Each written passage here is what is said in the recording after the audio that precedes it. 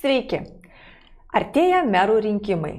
Ir turbūt daugelis jūsų neįsivaizduoja, o ką tai reiškia meras, kokios jo funkcijos, kokia jo veiklos sritis.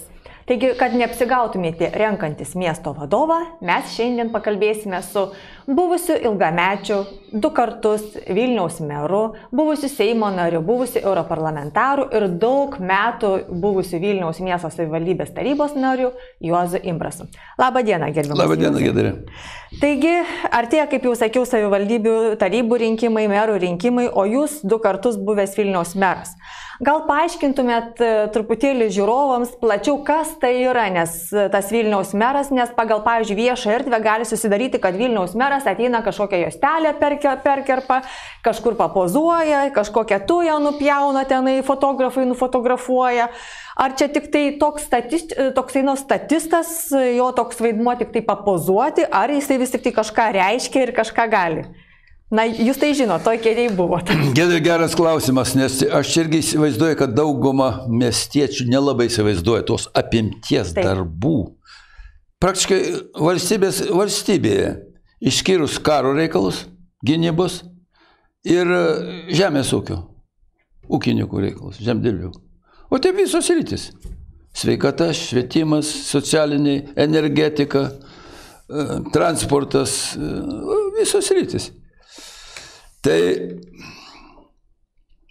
kai prieš kokius, kiek čia buvo, 25 metus man teko pradėti atsisėsti kėdę pirmo mero pavaduotojo. Meras buvo, ten Rolandas Paksas, atsimenu to laiko. Tai pradėjus darbą buvo 30 skirių. Paksas sako, Josai, o kaip mes dirbsim, sako, tai aš į, į mėnesį, į vieną dieną pakviesiu vieną skyrių. Tai kaip sako, mes čia administruosimės, kaip mes kontroliuosim. Departamentus kūrėm. Pavedė man ir įkūrėm devynis departamentus. Na ir prasidėjo. Posėdžiai, posėdžiai, posėdžiai. Atrodo, valandėlę dienų departamentų praleidė, įsigilinį problemas, supratau, žinosiu, kažką žinojau, naujo sužinojau.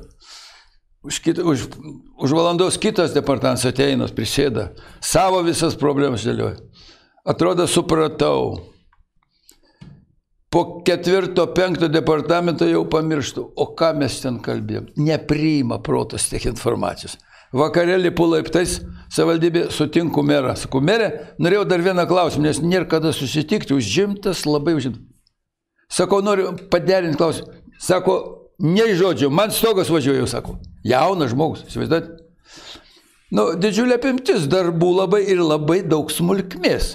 Palyginus su Seimu, tai ten atostogos. Padėjai yra, padėjai ruošia įstatymus, tokia idėja duodi minti, posėdžiai, komiteto posėdžiai, nu viskas. Čia nuo ryto iki vakaro. Per mėnesį kokie 3000 laiškų reikia pasirašyti skundų gyventojų, bėdų, ašaras ten lėja, bėdos jiem tai būtas, tai netvarka, tai vėl kažkas. 3000 lavina. 400 pavaldžių įmonių savivaldybėje, įsivaizduojate? Šiuo metu. Ir dabar, ir dabar. 400 pavaldžių įmonių. Taip. Ir vis tiek apie jas reikia kažkaip, kažkaip tai. Jos jaustų, kad yra valdžia miesto. Dabar, pažiūrėjau, buvo 30, dabar yra 40 skyrių. Po skyrių, man atrodo, daugiau kaip 20, tai 60 vienetų, kurie irgi turi jaus, kad yra valdžia, kad kontroliuoja kažkas. Nežiūrint, kad yra pavaduotojai, ten du vicemero, ten administracijos direktorius, bet vis tiek. Ir reikia žinoti, ką tas skyrius daro. Nu, nu pulsą tą ir turi jausti. Tai va, tai labai didelis krūvis yra. Žmonės neįsivaizduoja. Tai aš, aš buvau, ko gero, paskutinis meras, kuris priminėjau gyventojus savaitę, pusę dienos. Tai ten pusę dienos man kainuodavo sveikatos tiek, kiek visos savaitės darbas. Kad ateina verkianti žmonės iš tave išvirbė energiją, įrodinėjai, stengiasi padėti. Paskui išaiškėjo, kad jis man primelavo. Kitas ten pusę valandos aiškiai sutinka, kad aš dėl ko negaliu padėti. Sako, tai Sutinku viskas, bet merė vis tiek man padėk. Taip kaip kolų per galvą duoda. Tiek ištraukia energiją, suprantate. Tai va, tie, kurie, kurie eina čia va, iš tų kandidatų, matau, kuris, nu, nu čia yra reitinguose, nu jis gal net penkiom valytojom nevadovavęs gyvenime. Kad jis jau šviesus protas, nu, gal ir ne, žmonės nekvailinu, bet to patyrimo, to, to ūkinio vadovavimo. O vis tiek ūkis tai didelis. Vis tiek apie, reikia šiek tiek apie ir apie transporto problemas. Daugia būčių problemas, komunaliniai dalykai, energetika, šiluma, vanduo, atliekų tvarkymas, gyventojų tos paslaugos visas, skundų visokių. Nu, ir taip toliau, taip toliau. Labai masė didžiulė, e, krūvis didelis labai, smulkių, bet, bet jos, jos yra problemos. Ir nuo jų negali pabėgti. Nu, gali atstumti nuo savęs, pavaldinėm viską paves, bet po to nenusep, kad iš, išlys tokių dalykų. Sakysi, va, kaltas buvau, pats, pats nebandžiau kontroliuoti. Tam ir yra vadovas, kad jis prižiūrėtų, kad tarnybos dirbtų, sažiningai atliktų savo funkciją. Tai jeigu jaus, kad tu visiškai nesidomi, tie gali tokių žaidimų padaryti, visokių žmonių yra. Yra padarių daug žmonių, bet yra visokių. Tai va, taip kad e, čia kai kas neįsivaizduoja to darbo. Iš tikrųjų labai, labai imlus, sudėtingas darbas. O dar tarybos posėdžiai, 50 tarybos narių. Visi su savo įnoriais, su savo pageidavimais. Jeigu nepatenkinsi, tenas nebalsuos, tai to pretenzijos, tai nosi užsuks. Susidat, vėl su jais turi tą, tą kontaktą laikyti, stengtis kažkaip tai įtikinti, padėti. O posėdžių, kiek prie manęs kiek būdavo, klausimų darbo tvarkė. 120 klausimų per vieną posėdį reikia apsvarstyti. Įsivaizduojat? 120. Tik iki nakties būda sėdim. O dar opozicija bėgioja, kvorumą greuna, jiem kažkas ten nepatinka. Žinai, nu tiek išsėmė energiją žmogaus, iš tikrųjų yra labai nelengvas darbas. Norint sažiningai, tvarkingai stengtis dirbti, kad nu, būtų nu, ta valdžia, žmonės jaustų, kad yra valdžia, kad prižiūri, kontroliuoja, biurokratų buvo ir bus, visokių žmonių buvo ir bus, ir tu turi tą situaciją valdyti, kiek tai manoma. O kaip apie įtakos, e, bandymą įtakoti merą, nes jūs susidūrėt su tom povandeniniam srovėm, kur ne viskas čia viešai yra matoma, bet e, jumis taigi išgriovė tai tas vadinamasis Rubikonas? Nes aš tik tai prisiminsiu vieną tuometinę tarybos narę, kuri pasakojo apie, sako, einu Vilniaus savivaldybės koridorių ir matau vai tokį vaizdelį. Bėga meras Juozas Imprasas, Iš, kas, iš paskos bėga Rubikono atstovas, ištiesęs popierių ir sako, Juozai pasirašyk, tai liksi meru. O sako Juozas Imbrasas atsisukęs reikia. Ne. Jo, tai. aš pamiršau, galėjo būti, gal, tai, galėjo būti. Tai va, tai kaip ten buvo? Galėjo būti. Tai, tai reiškia, Gedrė, prie manęs per daug, sakyčiau, nelindau. Matyt, jautė, bet kad nors šis... Bet buvo su tuo Rubikonu. Kažkas buvo, jo, kažkas buvo. Bandė man įrodinėti, buvo užėję, jų oficialiai užėję, ne kažkur už kampų, buvo užėję kabinetą, bandė įrodinėti. Tai ką čia sako, tai vat, ten dėl to šilumos, dėl, dėl kainų komisijos, reiškia. Tai ką čia sako jūsų ten tas direktorius šilmos įmonės? Su, sako, kainų komisija, tai čia ministerija. Sako, iš kur tie ministrai ten atsirado? Iš kur jų patirtis? Skau direktorius teisė pradės, baigęs Kauno Politechnikos institutą, pradės nuo meistro, pakilęs į generalinį direktorių per 30 metų. Taigi didžiulė patirtis į, į profesionalumo žmogaus. Jie sako, čia, čia, ne, ne, nieko, ne, čia, o čia, sako, ten sėdi dabar ministrai kainų komisijai. Nu, tai sakau, atsiprašau, bet aš šiek tiek kitaip manau. Ir va tie bandė man įrodyti, kad jie ten visas tas kainas nustato gerai. O jie įtakojo, įtakojo, o dabar buvus pirmininkė e, Amerikoje gina jų interesus Rubikon. Kur sakaitė? Mhm. O kur prezidentė buvo paskyrus kainų komisijos pirmininkė? Bet tada, kaip jumis vertė, ten buvo dėl mokyklų šildymo, tenai didelis. To, ne tik mokyklų. Ne tik mokyklų šildymo. ir mokyklų buvo, na, čia Zoko laikais, mero Zoko laikais buvo jiem labai palankius projektas, tokia, sakykime, sprendimas, kuris prieštaravo veikiantiem tą dieną įstatymu, šilumos įstatymą ir kitiem, tiesiogiai prieštaravo, bet jie nusispjovė ant šito, prastumė per, per per posėdį valdybos, reiškia. Ir, ir paskui, paskui net teismai pripažino, kad čia nu, negali tokia sutartis būti. Tai aš jiem, jie kada mane taip sakė, nu tai taisyklė, dėl šitos. Dėl šitos. Sako jo. Tai sako, sako vyrai, pataisykite tą sutartį, kad tin, nu, naudos kažkiek būtų savaldybė, dabar jokios naudos, visa nauda jiem. Savivaldybės tik tai melžia pinigus, o nauda jiems, sakau, nu taip negali būti, nu mes ne tam čia sėdim, meras, viešo interesą turim ginti, aš privalau. Mano pisė, aš pasižadėjau, priesaką daviau. Sakau, pataisykit jūs šitą. Taip, kad sakau, ir Vilkas atsakys, nu, sakau, ką darysi? Nes nutrauks sutartį, teismai visokie vėlgi čia procedūra. Ne. Sakau, ne, tada ne, tai ne. Ir va čia buvo, nu, bet čia buvo pretekstas. Reikėjo, reikėjo, jį aš turėjau e, komisijos, kuri ištyrė Dalkijos nuomos sutarties tą sutartį, kiek pažeidimų. Profesorius Ašmantas ten energetikai rimti dirbo tris mėnesius ir turėjau papkę, aš ją dar namuose turiu. Ten šimtas puslapių. Daug labai sutarties pažeidimų, kurie leido inicijuoti sutarties esminį peržiūrimą arba nutraukimą. Jiem pasidarė neramu, Matyt, susėdė, pasitarė, sako, čia jau mums pavojus. Reiktų tą imbrasą. Ko, kiek iš čia gali mums čia nervus gadinti? Na tai taip ir vyko. o paskui atėjo kas? Konservatoriai jumis, ne? Konservatorių meras. Kubilius paskyrė savo ten giminaitį tą Navicką, tas iš karto jam pervedė, jiem už alė nedagautas kažkokias sumas. Kažkas juos nuskriaudė, imbrasas gal 20 milijonų. Po kiek laiko vėl keliasdešimt milijonų. O paskui atėjo Zuokas ir išnuomau, buvo išnuomotas šilumos ūkis, ar ne? 15 metų. Ne, šilumos ūkis jau buvo prieš tai. A, jau prieš tai išnuomotas. Prieš tai, prieš tai. Tai va dabar tas šilumos ūkis. Žiūrėkit, kaip jis buvo pristatomas. Nes aš buvau išstudijavęs šilumos, šilumos taps problemas skandinavų šalyse geriausi pavyzdžiai. Aš labai daug žinojau.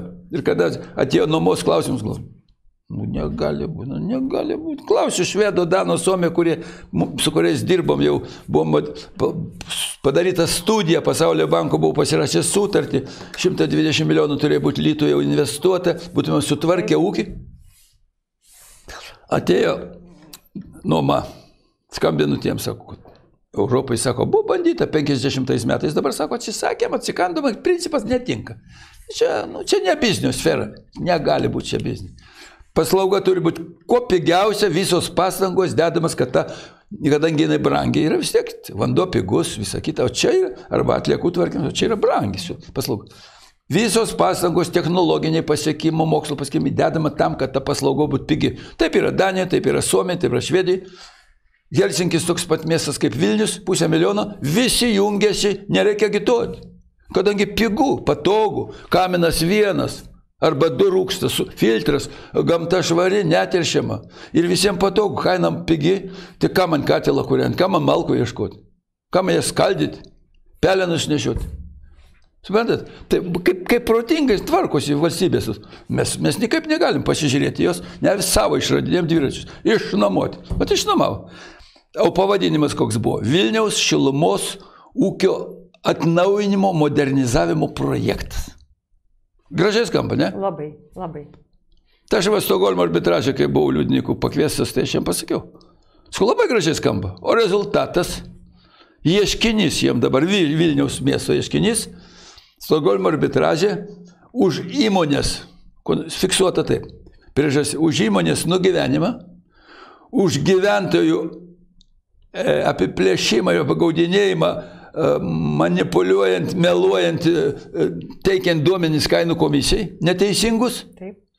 Ieškinys pateiktas 560 milijonų eurų, daugiau pusė milijardo.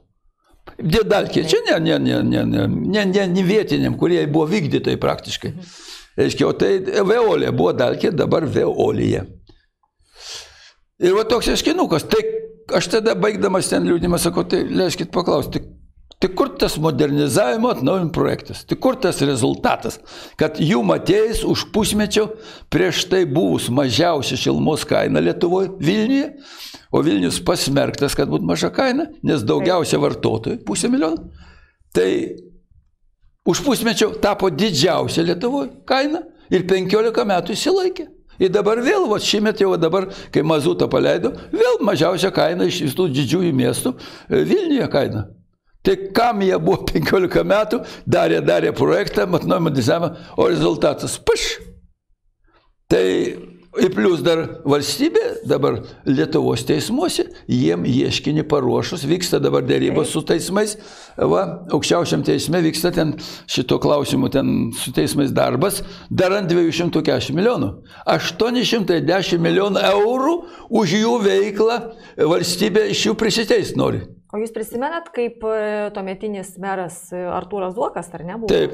Kaip, kaip, e, ta, kaip buvo prastuminėjama šita sutartis. Ir be to noriu dar... Gedrė atsimenu, važinė po seninijas, ale derino su gyvent, ale derino ir rudinė pasakas, ne, pasakoja, aš, aš buvau teisus ir aš dabar labai laimingas, kad aš įrodžiau, kad aš būsiu, negali pasakom žmonių apgaudinėti. Nu, gyvenime taip nebūna, kad išnuomok būtą tam, kad jis tau po 5 metų sugražintų nuomininkas atnaujintam naują modernų būtą. Nu, ar būna gyvenime tokie dalykai? O čia, o, tai čia iš tos serijos, kad išnuomoji būtų, o ten dar radiatorius įsineša, rankenas išsisuka, ar ten rozetės išsilupa, ateini ir stovi ir žiūri, ką dabar daryta, ne? Taip. Na nu, tai pas mus nėra tvarkos. Briuselį, kai aš būtą nuomavau, tai iš manęs paėmė 2000 eurų užstatą. Jeigu rasi brėžtą mikronos storumo brūkšniuką, iškart kabinasi. Mhm. Tai tūkstantį turėjau palikti, o tūkstantį įrodžiau, kad, ponai, jūs neteisūs. Beje, grįžtant prie to dabar tarptautinio arbitražo, kur jūs buvote liudytojas. Sakykit, jeigu pavyktų Artūrui Zuokui dabar laimėti Vilniaus savivaldybės rinkimus ir mero rinkimus ir tarybą, ar turint savo daugumą, jis galėtų atšaukti tą ieškinį, kuris jau šiuo metu ar išnagrinėtas, ar nagrinėjimas e, arbitražė. Nes ten Vilniaus e, valdybė. Turėčiau, negalėčiau pasakyti nei ne, bet abejočiau ir štai dėl ko.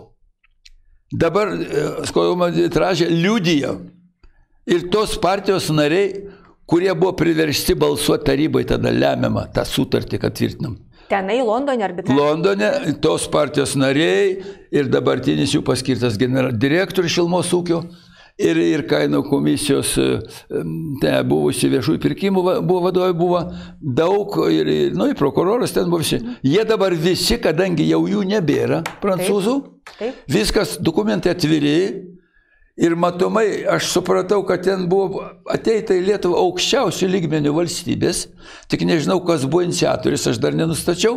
Ar čia mūsiškiai inicijavo per prancūzų savo kažkokius pažįstams išeiti prancūzų vyriausybė, kad tie kreiptųsi į mūsų aukščiausią valdžią, Na, nu, rimta valstybė, Prancūzija, Europą už dvi metų Lietuva stojo Europos Sąjungą, pasakė, mes jums paremsim, bet va, jeigu norit, mes galim sutvarkyti šilmos ūkį, sostinę modernizuosim, turim rimtą įmonę, milijardinę apyvartą. Nu, galėjo patikėti, nu kas galėjo patikėti, kad šitie jie gali taip elgtis. Mhm.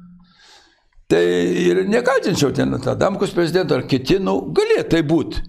Nes aš kalbėjau su, su bu prieš tai buvusiu šilmos įmonės vadovu, jis irgi buvo Briuselį liūdėjo. Sakau, dar du metus dirbai su jais, kada dar nebuvo išėję. Kaip sakau? Sako, nedaug dievė, kiek aš nervų sugadinau. Sako, ateina tokios mergiotės atvažiavę iš, iš, iš Prancūzijos, aš jam įrodinėjau, kad čia jūs neteisūs. Ką jūs dar, jūs nieko nesuprantat. Mes viską suprantam. Sakė, man tiek nervus gadindavo, tokie įžūlus jie ten, tie visi atstovai iš Prancūzijos. Ir aš paklausiau, sako, tai gal jie ne tos, ne tos vietininkus paėmė, sako, jie dvigubai. Jie sako, jūs iškėčiak, ten zokai, ten, nu ko nebuvo, vykdytojai tik tai. Tai reiškia, čia, čia dar tas klausimas, man atrodo. Tai vasara, vasara turėtų būti sprendimas, da, nežinau. Vasara jau bus sprendimas. Vasara. Vasara jau bus sprendimas. Tai o dabar sakykite, Juozai, kalbant apie e, reitingus, kadangi prieėm jau ir prie tų pavardžių, e, kažkaip labai įdomiai yra, žmonėm tarsi yra su, suponuojama, už ką jiem reikėtų balsuoti. Labai e, sudėtinga. E, bet Matau. žmonėms yra pateikiamos kelios pavardės, ne va tik tai, galima sudaryti įspūdį, kad tik tai keturi žmonės kandidatuoja. Tik tai keturi kandidatai, pavyzdžiui. Nu, vakar buvo atspausdinta visi taip, 15. Atspausdinta jau 15. Jo, ne? vakar aš vat atsišviečiau. Jau, bet pra, iki šio laiko buvo sukūrėta faktiškai. Tik trys, daugiau nėra. Tai bet jūsų nuomonė, tai kas čia vyksta? Na, nu, tai kas, ką mes nežinom tiek metų gyvendami politiniam gyvenime.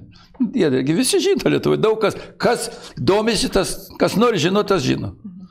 Taigi uždyko tie dalykai nedarom, turi mokėti. Už, už tai, tai ta ponė Sališauskinės firma skambi pavadinimu Baltijos tyrimai. Taip. Va, tai jiegi ir, ir ten tai Vilmorus visigi jie už tą atlieka, už, už atlygį. Kai darbas yra, žmonėms turi mokėti, kurie tą atlieka darbą. Vis tiek skambinti, apskambinti, kiek ten tūkstantį ir kiek ten. Taip, tūkstantį. Tai vis tiek darbas. Taip. Aš manyčiau, kad matydamas pagal va, tuos reitingus, kas čia viršui, mhm. tai Darėčiau tokias prielaidas. Arba nekvalifikuoti atlikta, arba užmokėta, kad taip turėtų ir parodyta būti. Matyt, gal užmokėjo daugiau, parodykit mūsų aukščiau. Gali būti toks, aš kaip prielaidą darau. Nes esu girdėjęs tos dalykus iš anksčiau, kaip partijos elgdavosi, nu, visi nori būti geros reitingus turėti. O jeigu ne, jeigu labai tiksliai viskas atlikta, tai tada man reikia dar kartą patvirtinti, kad Romaldas Sikorskis buvo finansų ministras ir pirmasis prie Vedūno mero, mero pavaduotojas buvo teisus. Mūsų piliečių daug yra kaip veršių tauta. Jeigu jie ne, nemato tų dalykų, Vat kiek čia dalykų, aš norėčiau pakalbėti apie, Taip. nekalbėti personalę, bet kalbėti apie kiek? darbus, kuriuos, kaip sako, kokie darbai buvo atlikti, gerų darbų matyti nereiktų. Čia vardinti, gerus žmonės mato, bet visada ir valdžios niekada negeria. Žmonės paprastai mato, kas netai padaryta, bando kritikuoti, kad tos klaidos nesikartot, ar jos samoningos klaidos ar ne. Tai va, aš gal, norėčiau netgi pavardinti keletą Vilniaus mieste, reiškia, kokie buvo priimti sprendimai, kurie iš tikrųjų. Liepkanio gatvėje yra pastatytas dar vienas Gedimino kalnas. Tokio pat aukščio, tik tai viršutinė aikštelė, viršui, matyti, didesnio ploto negu dabar senasis, statytas mūsų kunigaikščių laikais. 200 ar 300 metrų nuo Liepkalnio gatvės, išvažiuojant iš miesto, ten kairė pusė. Ir aš atsimenu, dalyvavau tarybos tam posėdį valdybos, ar, tai, ar valdybos vado, kada pirmininkavo mėras tuometinis, tas buvo Zokas, kad reikia spręsti problemą statybinių atliekų perdirbimų, mes labai daug statybų, individualių, firmos stato ir daugiabučių, visokių tų atliekų labai daug, niekur nėra žmonių, nu, organizacijom nėra kur dėti. Nu gerai, sako, konkursą paskelbė, laimėjo Rubikonas, aišku, va, tas, tas žinomas jau. Vadinamas. Vyrukai landus, landus nekvaili.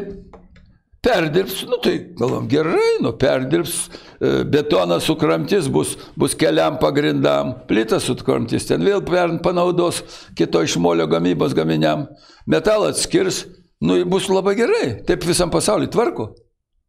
Bet kažkaip tvarkė, tvarkė, imitavo tvarkymą, aš ten ne, nevažiuodavau, ne, ne, nemačiau. Tik jau kaip jau triukšmas kilo, tada buvau nuvažiavęs, pažiūrėjau, sigandau imitavo tvarkymą, perdirbimą ir pilė kalną ir supilė kalną. Surinko pinigus iš visų, matyti, ne vieną milijoną, susidėjo čia ar čia. O rezultato nėra. Paliktas įžulaus verslo, įžulus elgesys ir, ir gyvas paminklas jų rezultato, sutarties nevykdymu. Įrodymas šitas kalnas Gedimino kalno aukščių. Oho. Tai ar gali būti senatis? Atės koks nusmėrs, turėtų paklausti apskrities aplinkosaugos departamento, ką jūs veikėt, kokios priemonės, į prokuratorių tai kreipėtės, į teismą kreipėtės. Ką miesto valdžia, kodėl užsimerkus sėdė, aš tai būčiau mėra, aš pakelčiau. Ponai, negali būti senatais tokiam dalykam. Vidury baltos dienos. Kažiuko mūgė. Šventė.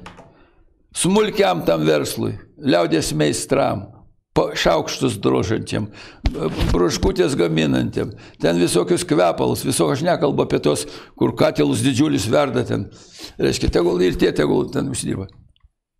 Taigi ir žmonių šventė turi. Turi būti kainos simbolinės, arba uždyko miestas gali išsivalyti už teritorijos išvalymą, jeigu ir pasinaudoja elektrą, nes kai kuriem reikia elektros ten pašildyti kažką, arbatą ar kažką. Tai galima, taip, bet tai minimalus būtų 10, 15 ar keliasdešimt eurų, ar mažiau, ar daugiau. Tai čia dar nieko. O dabar, aiškiai, mieste dirba 900 darbuotojų, įmonėse dar 30 tūkstančių. Ir reikia samdyti privačią firmą, kuri už tos 5-6 kvadratų tą palapinukę plėšia šimtus. Tai pakrašti 400, o centre 5-6 iki 700. Dievuliau man, tai ką jūs darot? Tai kas čia per, per žmonių apiplėšinėjimas, supranti, ir tie važiuoja namo verkdami, sako, nu tai kad tris, tris parašalom, supranti, Ša, jeigu atšalas oras, to iš palapinės stovi ir parvažiuoja nusiminę, keikdami. Tai, ponai, valdžia miesto, šimačiau, merė, dabar kodėl nepakeitė tos tvarkos? Kad aklas nematai, žmonės ačiū pasakytų. Būtina keisti. Aš sakiau čia vienam iš pretendentų, valdai Tutkai iškart suprasė, aš sakė, padarysiu nemoku. Iš tikrųjų, prie milijardinės, e, virš milijardo, reiškia, biudžeto, tai čia, nu, čia ašaros, čia. išvalyti teritoriją, kas čia yra? Tūkstantis kitas. Padarys Ir už elektrą tūkstantis kitas. Padarys žmonėms šventę. Ne. Smulkų verslą, amatininkus ar Taip. nepakviest. Nu. Kitas, gal ne, ne tiek svarbus, bet vėlgi yra toks žmoniškumo. Sekmadienis visoje Europoje mūgės būna iki pietų. Zalzburgė mačiau prie bažnyčios, Erfurte prie katedros aikštės, ten turgus. Atvažiuoja iki 12, ūkininkai susiveža viską. Žmonės atvažiuoja į katedras, pasimeldžia. Po, po, po maldų išeina į tą mūgę, kažką nusipirka, pabendrauja, šventė visiems, atrakcija. O pas prosę aš tą padaręs ir buvau Vilniui. Būdavo sekmanės. Man išėjęs Zokas uždarė. Tai klebonas ačiū pasakytų. Žmonėm įdomu atvažiuoti ir į mūgę, ir buvo iš bažnyčiai pasimelsti. Pilna bažnyčia žmonių. Išėjo iš bažnyčios eina į, į mūgę, pa- pasibendrauja su žmonėm, kažką nusipirka. Nu, sekmadieninė diena, nu, šventinė gaunasi diena. Iš Ir tie vers- maisto. Ir tie verslininkai man būdavo, sako, oi, merė, ačiū, sako, mes parduotuvės išnuomoti negalim, per brangu, ne, neturim tiek prekių. Tai kur mums parduoti tą savo tas broškutės, tos pridroštus šaukštus, ten visokius. Amatininkai, Amatininkai ties mūsų. Kur mums parduoti? Daužausi po visą Lietuvą, užgirsta kur kokią šventę ir lekia. Tai čia sostiniai. Padarykim žmonėm. Ačiū, sakys visi. Ir miestiečiai, ir tie, tie visi. Ir, ir dėkavos tam merui, ir visai, visai valdžiai miestą. Sunku. Ne, matai, Maksimą, ko gero pasakė, kad negerai, čia mums nuostolis. Tai palauk, ar jūs Maksimam atėjo dirbti miestą, priesaikas davė, ar jūs atėjo dirbti miesto žmonėm? Aš buvau, matai, daug metų tarybai buvau, mačiau visus tos procesus, kuriuos darė, aš manau, kad čia buvo Rubikono iniciatyvos, ten gudrus vyrukai. Kaip čia pakeisti situaciją, kad jie užvaldytų daugumą paslaugų mieste? Ir jiems čia būtų biznis, verslas. O čia ne verslas. Ar atliekų tvarkymas, ar daugiabučio administravimas. Čia ne verslas yra. Niekur Europoje normalis valstybė, čia nesiskaito verslas. Visur turi būti minimaliausiam kaina. O ypatingai tos gyvybiškai svarbios paslaugos. Tai yra šiluma, be ko žmogus negali gyventi. Vanduo negali gyventi. Nu, elektra čia, čia gali dar žvakė užsidegti. Bet, bet, bet, bet šities du, dvi paslaugos visur yra kuo mažiausiam kainam, kad tai žmogui nekainuotų. Viskas metama, visi pasiekimai, technologijos, mokslai ir taip toliau. Ne, pas mus verslas, čia pelnas siekti. Tarp kitko galioja dar premjero Vagnoriaus laikų vyriausybės nutarimas, kad va šitom visom komunaliniam paslaugom ir kada buvo komunalinės įmonės prie seninijų, kurias gerbiamas Artūras Zokas sunaikino Rubikono iniciatyvą, kad jos nesimaišytų čia, nes jiems reikia užgrobti šitą administravimą, atliekų vežimą, taip toliau, visus tos, tos dalykus monopolinis. Tai visas sunaikino. Privatizavo, jie nusipirko. Pusė Vilniuje yra Rubikono įmonė. Vadinami administratoriai. Tų vadinamojo Rubikono. Ir dabar per tuos Liaudyje. administratorius Vilniečių daug yra įbaudžiavinti. Aš pats savo name turėjau pavyzdį, kada jie man, du kart merui, buvusiam komunalinės įmonės direktoriui, inžinieriui statybininkų, baigusiam institutą ir statybos technikumą, ir, ir, ir apie vamzdynus, apie šilumas, apie vandentiks aš mokiausi, ir apie statybos procesų konstrukcijas. Man siūlė kiemę, reikėjo padaryti vieną darbelį, jie man tris mėnesius pūtė burbulą, kad labai čia sudėtinga, čia reikia konkursas, reikia organizuoti. Nu, darbelis ten toks šulnį pakeisi reikėjo kiemę, kur subėga, po to į gatvę išbėga. Po trijų mėnesių man atneša tris samatas. Dviejose 10 tūkstančių, o trečioji 8. Jau ta trečia jų, o kitas dvi nežinau kokios, gal fiktyvios kažkokios. Bet jau jų, jų tos firmelės, mano būstas jau pigiausia 8 tūkstančiai. Aš pažiūrėjau, kas ten prirašyta, devuliu mano. Po 30 kubinių metrų gruntų išvežti nuo šulniuko. 2 metrus gilio kas? Nesąmonė prirašyta. Aš žinojau jūs šitą taktiką, bet nustebau, kad man, mano kieme, žmogui, kuris tos dalykus man Nusimano. kaip priešus.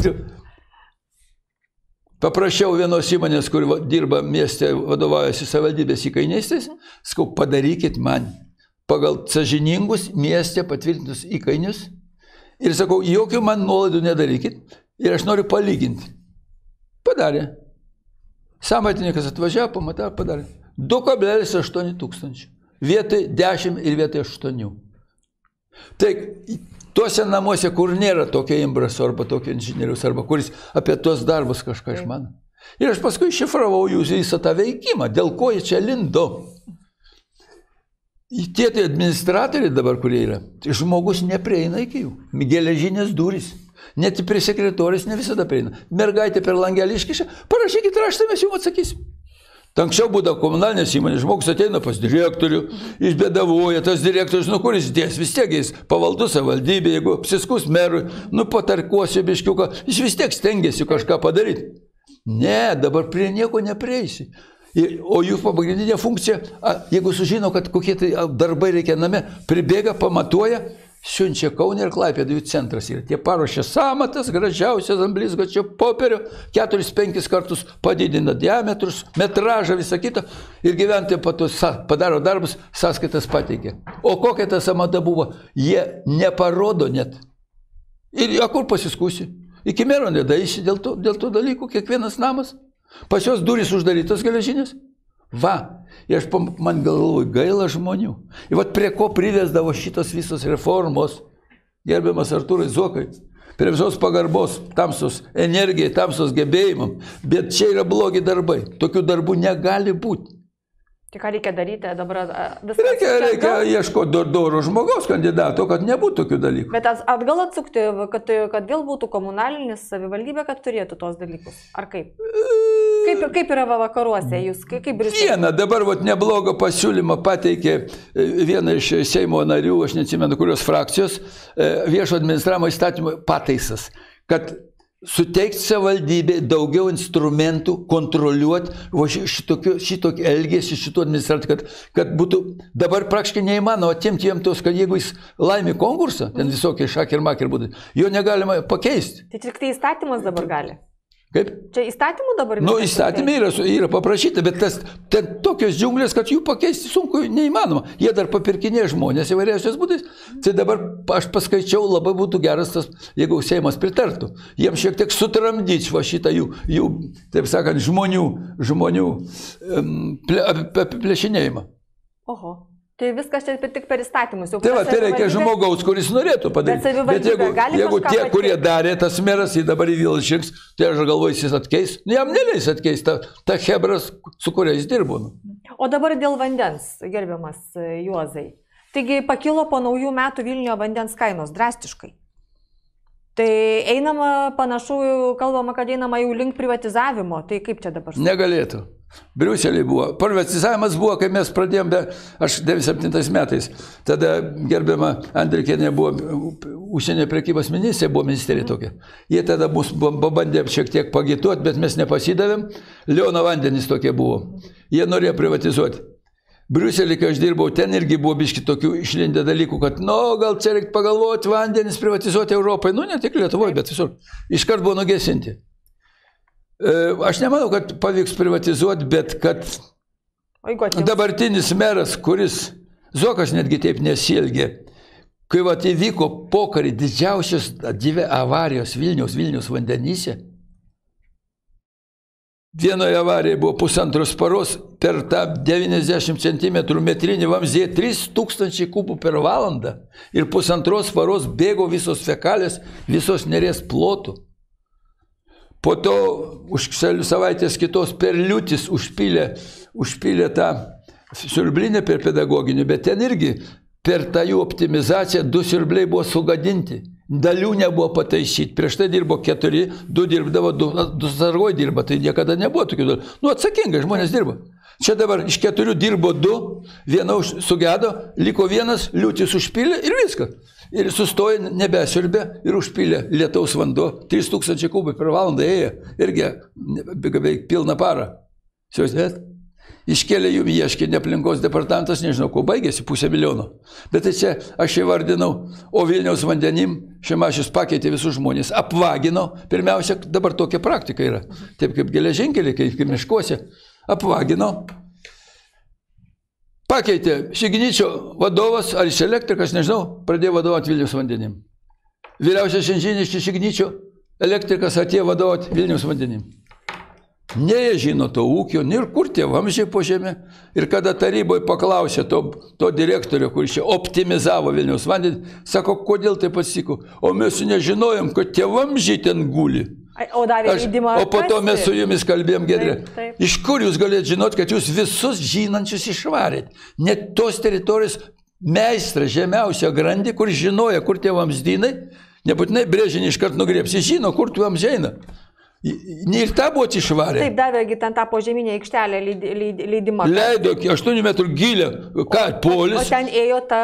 O ten ėjo tie pusmetriniai plastikiniai vamzdžiai. Jiegi labai greitai. Kanalizacija. ne? Ir jų tas nusikalstamas, neatsakingumas, o jie dėl ko žmonės išvaro, iš geležinkelių, kodėl išvaro. Vat Masiulio Roko čia politika, čia jau visų politika šita. Kad tam, kad žmonės nežinotų. Atėjo nauji, nežino, kas čia buvo, kaip čia buvo. Tie visi seni toj lygina, aha, buvo taip, aš šitie atėjo, matai, daro, kad nevertintų, išvaro visus. Bet vat, prie ko priveda tas išvarimas, tų patyrusių žmonių. Negi visi vagys, visi žulikai.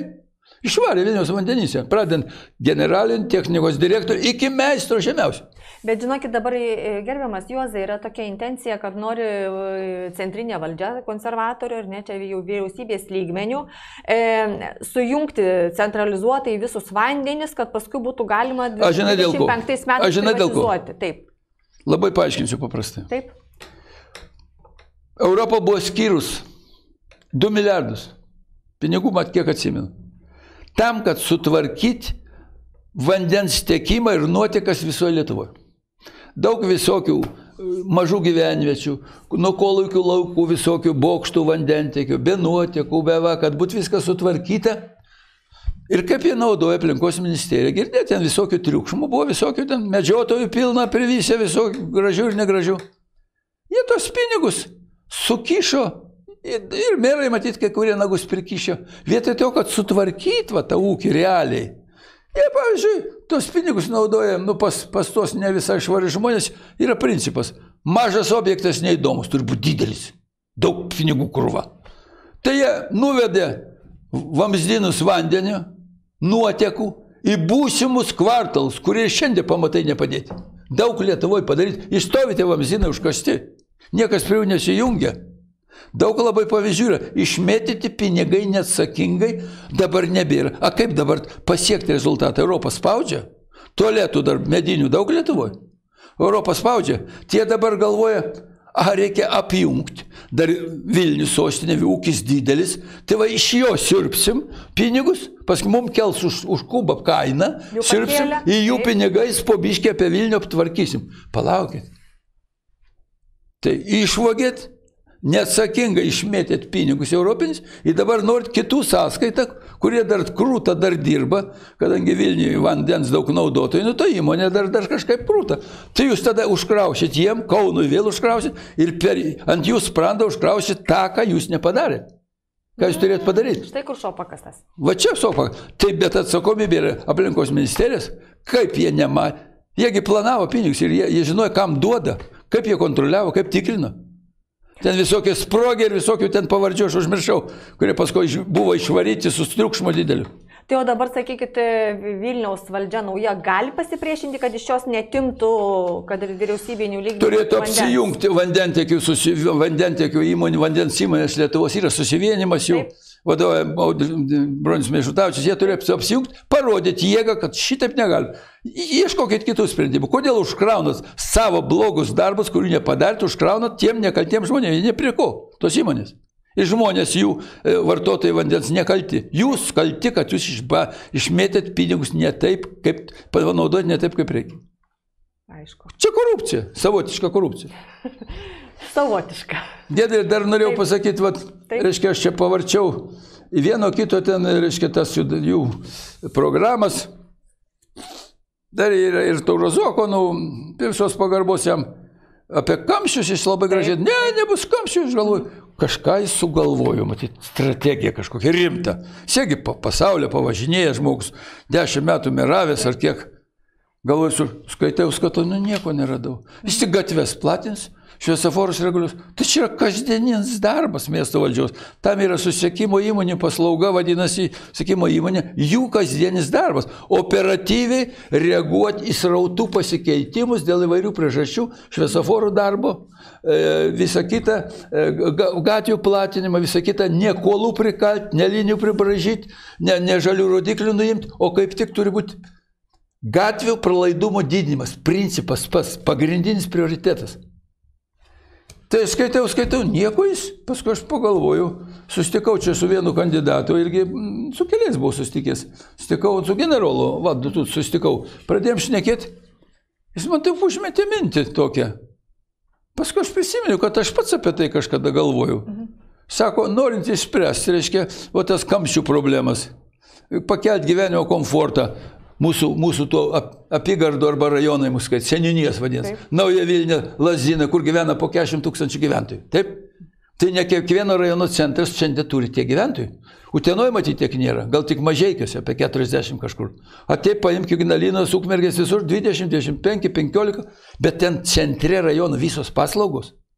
Tai kodėl negali būti lasdinuose maksimum paslaugų, kodėl negali maksimum paslaugų e, Naujoje Vilniai, e, pašilaičiuose, kad nereiktų dėl smulkmenų lėkti čia į centrą, iš pašeimos daktarą kažką ir taip toliau centrą.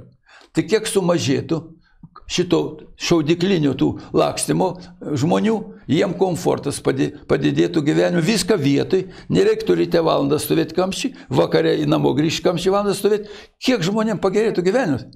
O mes tik vis pataikavom visokiam privatiem verslam, tai ten perkunkėmi pastatėm, kur žmonės keikė dabar visas valdžias, įsivaizduojat, arba Fabioniškėse ant, ant Savartino pastatėm ten, toks Kurėjevas buvo kažkada tarybiniais laikais, Kalvarijų turgaus direktorius, pataikavo jam, pristatėgi ten bičių korys, baisus dalykas, kaip tie žmonės kenčia.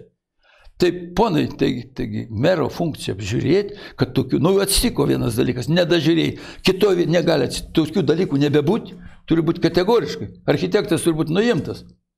Beje, kai pradėjote apie tos neapžiūrėjimus, labai įdomu, va, žmonės skundžiasi situaciją su vaikų darželiais. Anksčiau buvo, sako taip, e, yra vaikų darželis, yra pagal gatves viskas. Tos gatvės priklauso šitam vaikų darželiui. Dabar padaryta kažkokia centralizacija, tu įvedi į kompiuterį ir nors tu gyveni čia, tau rodo yra vieta tenai visai kitam Vilniaus gale. Kas čia per nesąmonę? Gedrė, tai žiūrėkit, kiek aš kalbu su žmonėms, sako, aš gyvenu ten. Nu? Vietą gavau ten, per visą nu? Vilnių važiuoju ryte, tai vakare ir vėl grįžtu tai vakare. Tai, tai palaukit, tai mes čia, čia visus vadina vyresnio amžiaus sovietiniais. Taigi sovietais laikais buvo centralizuojama viskas. Tai ką, ko jūs čia dabar ant kitų pirštais rodo? Jūs vat, kartuojate tas klaidas anų laikų. Vietoj to, kad, žiūrėkit, Pinigų vis verkia trūksta. -huh. Milijardas du šimtai ten su virš pinigų. Didžiulis kiekis. Aišku, kainos pakil, bet vis tiek dešimt kartų daugiau negu mes pradėjom rauti. Vienas iš buvusių merų reklamos pinigai, daug milijonų miestė reklamos pinigų, miestas galėtų ne vieną darželį pastatyti kas metai po darželį. Per, aš per du metus pasiečiau pilaitukė vieną metas būdamas, pavyko. Tai nors po vieną į metus, va, Šimašius prabuvo 4-8 metus, tai nors galėjo 8 darželius pastatyti. Nežinau, ten keletą moduliukų prilipdė prie esamų darželių, kažkiek padarė, bet ne tiek daug. Tai palauk, nėra pinigų. Daug milijonų už reklamą, jeigu miestas pats administruotų reklaminius dalykus, tai į biudžetą daug milijonų papultų. Kiek darželių pastatytų? Ne, reikėtų duoti prancūzam. Džiši dėko, atidavė, supranti, ir, ir jie ten milijonus kraunasi, o mes verkiam pinigų nėra valstybė. Kodėl? Dabar parkavimas, žiūrėkit. Nuvažiavus ant Tariškės, visi kiemai, Unipark, Unipark, Unipark. Tai palauk, sukūrė, mes dar, aš tada vicemeru, barmeru, savivaldybės įmonės sakymo paslaugos, kad reguliuotų abiejų parkų veiklą, maršrutai, kainodara, e, šviesoforų darbas, visa kita, viskas jų funkcija eina ir parkavimas. Tai dabar pusę miesto atidavė Šimašius šitą Unipark privačiai, kad jie čia krautus pinigus. Tai kodėl? Tai dabar tu turėjai kaip tik tą funkciją plėsti, Savo įmonę. Per ją gali reguliuoti, kur būtinai reikia parkuoti, kur gal, gal nereiktų. Pavyzdžiui, prie mokesčių inspekcijos suvažiuoja verslininkai, neša pinigus į, į, į, į tą avilį, valstybės avilį. Verslininkai negali privažiuoti prie mokesčių inspekcijos. Ten, ten reiškia, reiškia, privatus, mokėk pinigus. Tai palaukit, ponai, kur jūs nuėjot? Santariškėse buvau ne vienam kiemė. Nu, užmokėjau ten, aišku, ne tie pinigai. Bet palaukit, kodėl jūs taip daro? Atidė privatiem milijonus. O kur ataskaitas pončiamašių? Kur tie pinigai panaudoti? Jie turi būti paspaudę savaldybės puslapį, viskas matosi. Tie pinigai turi panaudoti gatvių pralaidumų didinimui. Platinimas, šviesoforų darbas, reguliavimas, viskas turi būti nukreipta tam. Kur ataskaitos? Kur jie eina pinigai? Va, nuo čia prasideda bėdas. Nu, ne visi jų žuvis pūva nuo galvos gėdė. Supranta, ką žiūrėti. Tai va, bet yra. žiūrėk, o Ką ką, tai ką aš pasirinkčiau merų? Nu ką? Nu, va, te trijulė pirma, nu, Zokas patyrė žmogus visą kitą, nežinau, ar jis pasitaisė, ar jis jau nedarys tų klaidų samoningų, jeigu vadinti klaidom. Dalkėjos visokie, va, tas sakau, Gedimino kalnai, Kalvarijų turgus. Vamzdis garsusis, pak, e, čia kur, ne va, tai meno kūrinys, čia irgi prie jo buvo. Man atrodo, apie jo, jo, aš atėjau, jau buvo tas, jau, Jau buvo. kultūros sostinė jau buvo suformuota, aš negalėjau nieko pakeisti. Jau buvo sukurta sistema, kad aš net negalėjau pakeisti. Kultūros sostinė, pinigų jau viskas sudėta ten, valdymas visas buvo padarytas, aš pabandžiau galvoju, nu ką, aš stabdysiu dabar, nu tai prakentėjau. Kaziuko mūgė, seninijas nualintos. Žmonės, seninė, seniūnas valdžia, o kas iš jų? Specialiai buvo nusilpnintos, kai kurios seniūnai yra seniūnas, sekretorė ir teritorijos meistras priežiūros ar valo. Viskas. Viskas. Tai duokim pinigų, kad seniai būtų etatai, kad žmonės jaustų, kad yra valdžia, kažkokia pagalba. Kaip, tai seniūnas čia toks kaip mažas meras to rajono, nu čia ne kaip jų kaip Nu, reikalas. ta, ta pati, ta pati reiškia Londone. struktūra, kuri yra buvo su... vienas Londono meras ir paskui ten Gedri, yra bet čia jau reiktų taisyti savivaldos įstatymą. Čia vat reiktų eiti tuo keliu, į tą kryptimą. Bet Tegul šiandien, šiandien nors funkcijų. atstatykim jų Taip, taip, statusą, taip, nors šitame taip, etape Bent jau, funkcijom. Taip, Atstatykim, išplėskim funkcijas, kad žmonės jaustų, kad to. kažką gali padėti tas seniūnas. Dabar ne, bet jie buvo specialiai sunaikintos, kad netrukdytų Rubikono planam užimti visas komunalinės paslaugas. Nes čia būtų, daug darbo. įsivaizduojat, Oho, tai dėl ko, taip. kaip tas buvo labai aiškiai, tik, aiškiai tikslas, gi buvo liudininkas šitų veiksmų. Aš, aš nieko prieš, aš, aš asmeniškai, aš prieš to, nieko neturiu, bet šitie darbai, aš negaliu apie juos nutilėti. Tai yra žmog, kenkimas žmonėm, žmonėm, miestiečiam bloginimas sąlygų. Aš kalbėjau, kal, nu kalvarijų turgus irgi tas pats. Pažiūrėkit kas. Išnuomotas privačiam. Tai aš buvau e, Europą išvažinėjau visur. Turgai kaip turgai, Londone specialiai apvažiavau visus turgus. Tai prieš šimtus metų kokia buvo dvasia tam turgui. Tokia ir šiandien yra turgus, tai yra speci, specifinė dvasia. Prekiauja, prekiavė, niekas iš jų ten neplėšia. Produktai žmonės važiuoja turgus, gauna šviežių produktų, dar kažką. Nu, į- tai amžių amžiai susiklošė situacija. Čia dabar kalvarijų turgui. Išnuomavo, reiškia, Išnuomavom. Ir savivaldybė negali susitvarkyti. Buvo čia tas, nu, gal ne visai tas direktorius buvo švarus, bet užpuolė čia, banditų gauja, sugavo, aš kaip mirau, jo, jo Marija, ką čia. Ir paskui iš tų pliuško, su pliuško atsiprašė žmonių, tie, tie policijos, kurie, kriminalistai, kurie ten gaudė jos, atsiprašė, buvo konfiskavę, sakė, pinigus, atidavė viską, atsiprašė, sakė, mūsų suklaidino. Savivaldybė negali tvarkytis. Tai tai nereikia, o savivaldybės trys žmonės turgaus žmonių, šviesesnių, trys žmonės sudarė valdybą ir tegul sprendžia, o čia būtų savivalda. Savivaldybė gali prisidėti, pamoder... o ką modernizavo? E, Abu paviljonus Kalvarijų turgui viduje padažė, nu, patvarkė, pa... e, okeaną buvusi padažė, o laukia, taigi žmonių pinigais padarė. Iš kiekvieno surinko po 1600 kaip užstatą, kad jis, reiškia, kai jie sustatys tuos paviljonus, kad jis vieną iš jų paims. Nu, suprantam, galbūt gerai, bet sakė, gražinsim. Jau 12 metų mažai kam gražino, bet įima už tą paviljoną į mėnesį 230 eurų. Įsivaizduojate? Plius licenzija. Tualetas mokamas, tuo jeigu tu tiek pinigų įimi, tai nuo žmonės, jeigu tualetan, nueina be centų. Mašinai parkuoti, vėl pinigus įima. Tai kiek jūs galite plėšti? Tai dabar aš paskaičiavau, tai lytais būtų, jeigu savivaldybė būtų jiemus tiek, tai nežinau, ten būtų nugriovę visą savivaldybę, iš pikčio žmonės. Apie 400 litų išleidžia į mėnesį tas paėmęs palapinę ten 4, 5, 6 kvadratų, kur priekiavo visokiais batais ir taip toliau. Ir negražina užstato. Tai palaukit. Tai kaip žmonės, tai tegul naina pasikalba, vat, tie, kurie pretenduoja į, į miestą.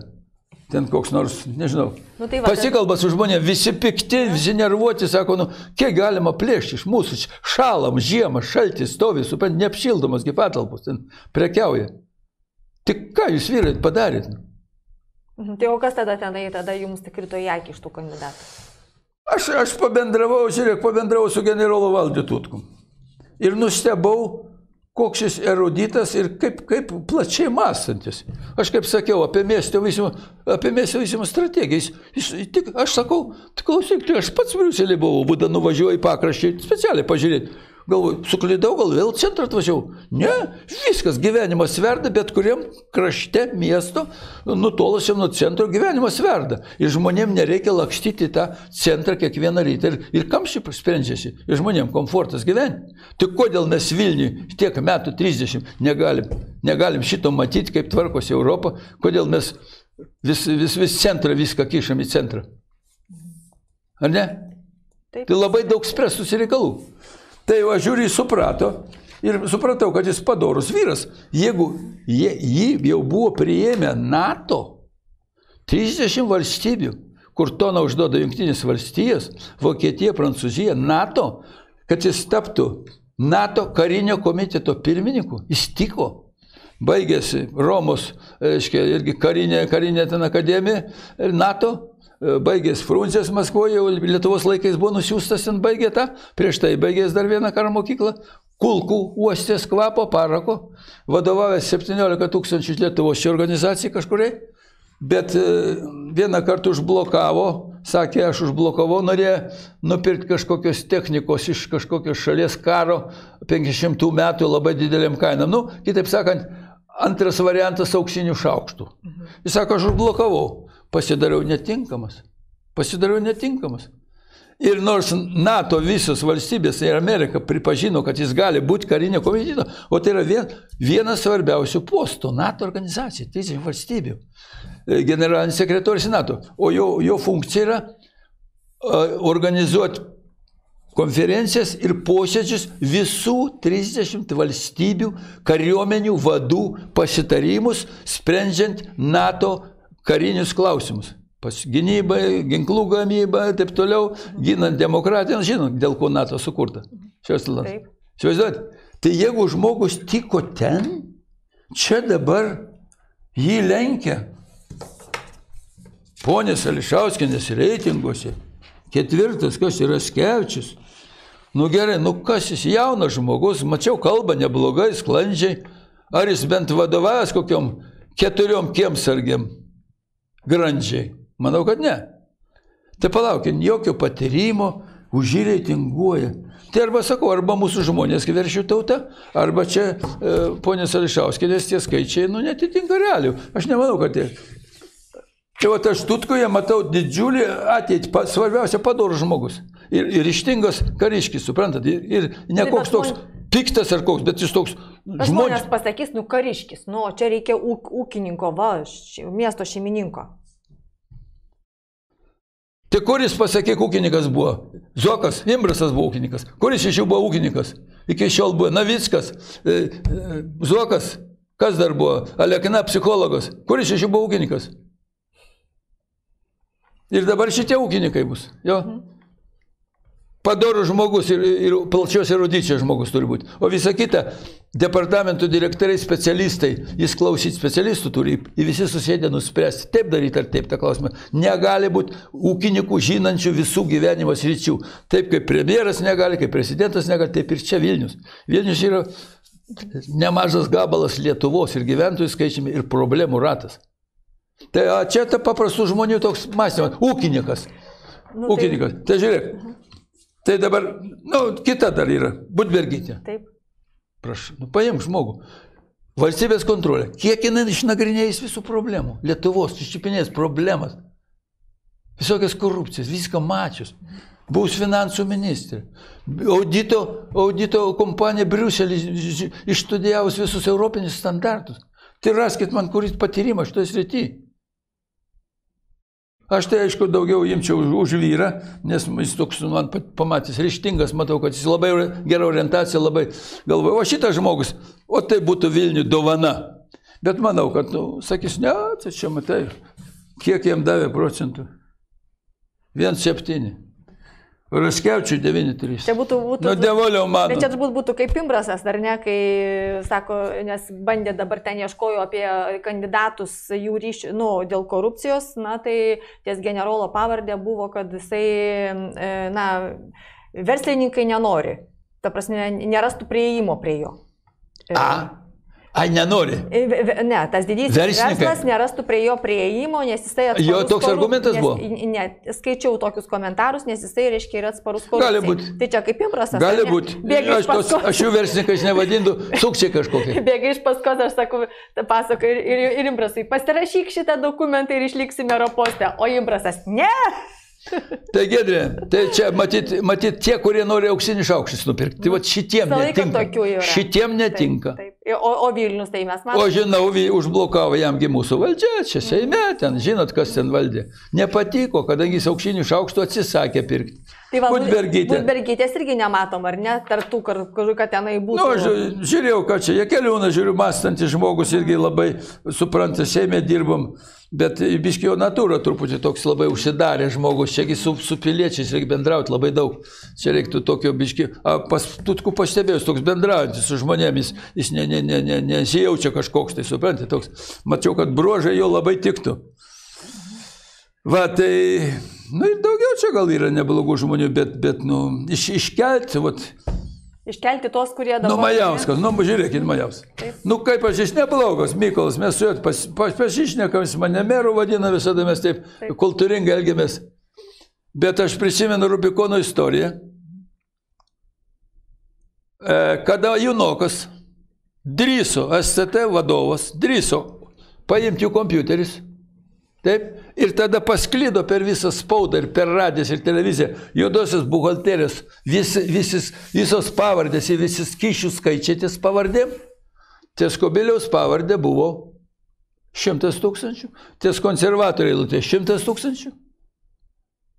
Ir Junoko, vietoj to, kad prezidentas Adamkus prie visos pagarbos šitam žmogui, jis jam nors ne, neapdovanotų, bet paplotų petį. Ačiū tau, tu už piliečius stoji, gyniai piliečių interesų. Jis jį atleido. Gėdai. Aš man nemanau, kad jis savo valia. Matyt, kažkas ten iš kitos, iš vieno kampo sakė, reikia atleisti čia mums maišo. Na, Damkus pasidavė. Įsivaizduoji? Tai va, tai, tai, tai dabar jis buvo patarėjų pas Kubilių, aš nežinau, ar, ar kiek jis ten auklėjimo kokio gavo patyrimo iš Andriaus Kubiliaus. Ir, ir dabar, va čia, kur aš čia skaičiau, kaip čia, kurie čia daugiau, ar, ar Artūras Zuokas, ar konservatoriai, ten su Rubikonų. Taip. Nu, kad tie ir tie. Nors dabar va, partijos nariai balsuoja arbitražė jau labai norm, tvarkingai, jų niekas nespaudžia. Juos matyt spaudė iš viršaus. Tuo metu. Na, ir kubilius, ir dar kubilius matyt tų pinigų gavo ten šimtai tūkstančių, jeigu ten jau buvo viešai paspausdinta, matyt. Ten, kai sutrumpinimai buvo, kad iššifruota, kad... kub- Jo, jo, jo. kubilų. Manau, nu negali, nes aš, aš dar atsimenu, vienas solidus žmogus buvo konservatorių frakcijai. Aš jo klausiu, sakau, klausyk, nugi matai, kad čia, sako, jos aš suprantu, liepia. Sakau, suprantu, liepia. Nu tai buvo. Tai palaukit, nu tai. Tai kaip galima sakyti, faktiškai kokią išvadą padaryti, kad e, mero, mero ir savivaldybių tarybų rinkimai, tai faktiškai ar e, Vilnius bus piliečių rankose, ar vėl stambių korporacijų, ar ne- neiškių tokių, na, iš kurių negali išsivaduoti iš verslo, stambaus verslo įtakos rankose. Taip. Faktiškai lemsis tai. Gedrė, dideli pinigai vaikšto, čia teisybė, čia ni- nieko nėra ko slėpti, iš tikrųjų dideli pinigai ir visokių pagundų. Ir jeigu tik tai vadovas padaro žingsnį tą kryptį vieną, tada daro ir kiti, ir architektai daro. Kiek skundų iš architektūros skyriaus ir plėtros departamento vadinamo Vilniuje nuo architektų, kiek aplinkos ministerija prikurta džiunglių statyminių statybos sferoje, Jėzau Marija. Kiek. Ir va jeigu mato vadovas aukščiausias ten kažkur kažką įtarė, o tik kodėl aš negaliu daryti. Ir paskui kenčia verslas, tas pats verslas kenčia. O jeigu atsistotų doras žmogus, pabandytų prašienauti šitas džiunglės biurokratinės, pačius bjauriausius tos, kurios biurokratus, kurie kišininkai pravalytų, atsikvėptų ir verslas. Atsikvėptų, miestiečiai, verslas atsikvėptų, nes aš žinau, tiek prikurta visokių dirbtinų dalykų, aš va, domėjausi Europai, kad nu nėra taip, nu nėra taip, bet čia yra piktybiškai prikurta visokių, tada tie privatinikai susikuria firmelės, tai o, nepriduočiau namo, taip samdyk mane, aš priimsiu, mokėk 3000. Taip sukurta sistema, infos, infos statyba yra sukurta, paprastas žmogus neprieina. Tik tai architektas, kuris, kurie dirba pastoviai, nesudėtinga labai sistema. Ir žmogelis paprasto namelio priduoti negali. Tada turi samdyti tą firmelę, kuri vat, prieina prie jų, ten jie to šokermaker visi dirba ir dalinasi, supant, jam 3000 mokėk. Už namo pridavimą. Kada savo visais laikais būtų paprasčiausia procedūra. Jeigu pagal projektą atitinka, viskas yra, viskas išbandyta, elektra yra, sąlygos įvykdytos, kokio čia dar ieškoti? Bet prigalvota, reikia geodėžins matavimus pastato daryti, su atvažiuoja su prietaisais, nuo, nuo, nuo, nuo kaimino tvoros pamatuoti, reikia prietaisus, reikia milimetrų gaudyti. Nu, nu kažkoks blūdas, gedri. Tai, tai va, jeigu žmonės norit turėti padorų žmogų ir atsigauti verslas, Pabalsuokit, nebalsuokit už tos vyrus, kurie, nu, Zokas Artūras, nu gal jis pasitaisė, bet va tai jauni vyrai, nu neturi patyrimo. O va šitas žmogus, kurį aš jums sakau, aš jums garantuoju, atsikvėpsit visi, Vilnius oras pra, prašvarės. Aš, aš taip mastau, o ką aš turiu, aš, man taip atrodo. Tai ačiū, kad pasidalinot patirtim, e, nes tai turbūt papasakojot, kas tai yra Vilnius ir ką, ką veikia Vilniaus meras, sostinės meras, kadangi, kaip aš jau minėjau, pagal tą viešąją erdvę galima susidaryti įspūdį, kad, na, Vilniaus meras tik tai pozuoja fotografams ir užsiminėja viešaisiais ryšiais, o daugiau reklamuojasi, o daugiau nieko nedaro. Pasirodo, darbų yra daug ir reikia asiraitojus rankovės labai stipriai dirbti. Tai dar kartą ačiū, kad pasidalinot patirtim. Dėkui, Gėdė, kad pakvietė. Ačiū Jums, kad žiūrėjote.